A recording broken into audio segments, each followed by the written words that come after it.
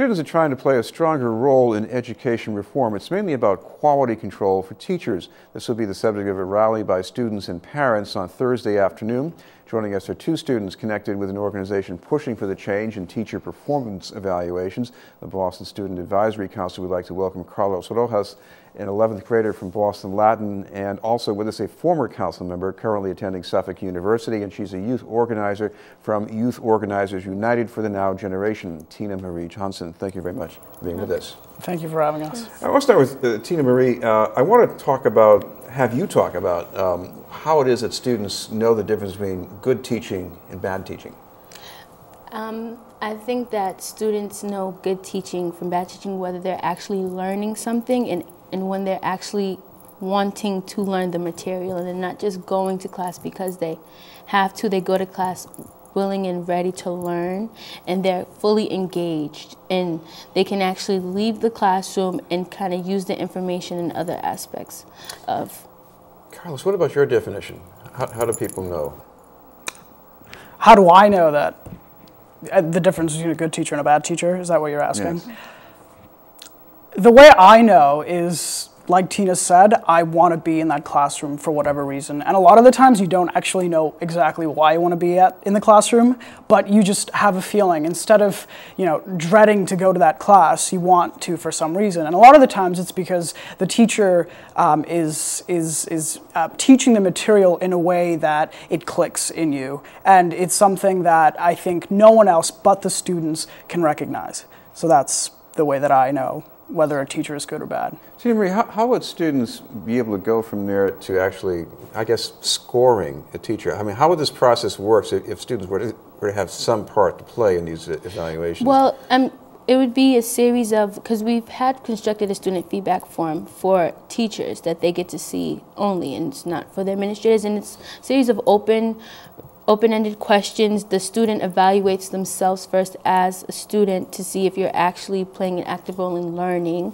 And then you get a chance to evaluate the teacher based on the course material that you're learning. Um, do you get like one-on-one -on -one attention or is the teacher just teaching to the whole to the whole class? Um, do you get support out of school from it? There's a series series of questions that you can ask to, to know if you're being fully engaged with your teacher. So Carlos, is, is this the idea to have every student in, in a class fill out this information and somebody compiles it and passes it on? Well, actually, um, last December of 2010, we passed out the feedback um, form, which was for the teacher only. It didn't. Uh, it didn't um, count towards the official evaluation, and so every student um, in most uh, Boston Public Schools high school took it, and uh, logistically it worked out very well. So we would like to push for someone besides the um, educator, him or herself, um, distribute the forms and collect them.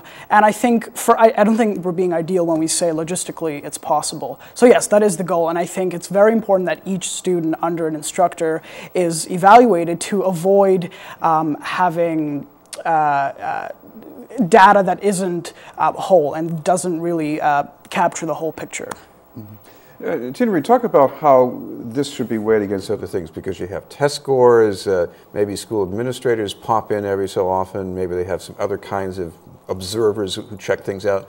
Um, how valuable is the student observation? The student input is the most valuable because administrators can pop in at any time, but a teacher will always be on their best behavior, and I've experienced that numerous times.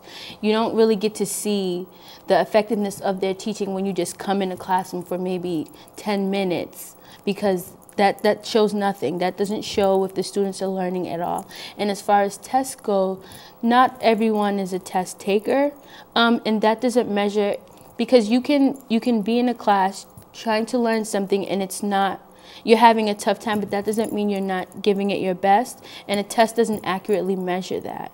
Um, and I feel like effective teaching, well, students evaluating their teachers is, works better in any situation because the students can give feedback of, of, of so many different varieties of the teacher um, as a whole and not just on specific aspects, just as a whole, because you can have a teacher that is maybe needs some work, but is still a very good teacher who is working towards that.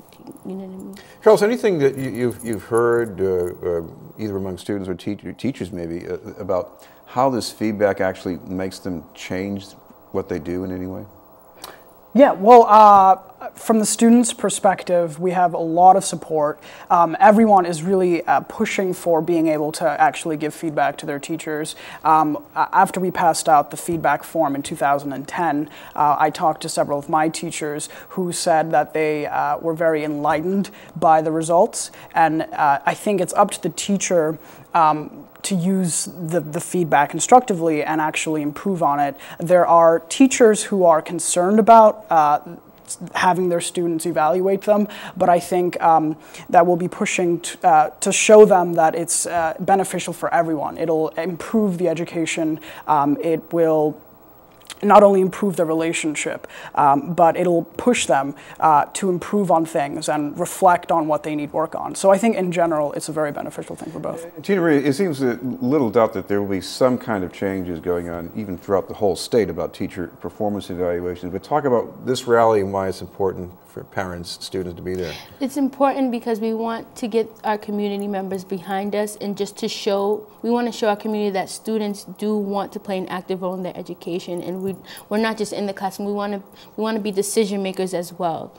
Um, about this process because we can give the best input and we know like I like we both said, we know what makes a great teacher, and it's not. We want to show. We don't want to just get rid of bad teachers. We also want to show the good teachers how much we appreciate them, um, and how to keep doing the work that they're doing for us to influence other teachers to do good work as well. We should mention it's going to be uh, Thursday afternoon. Thursday at from 3:30 to 5 at City Hall. Boston right. City Hall. Thank you very much for being with us, Tina Marie Johnson and Carlos Rojas. Thank you so much. Up ahead, the report from the Fenway with Lexi O'Connor.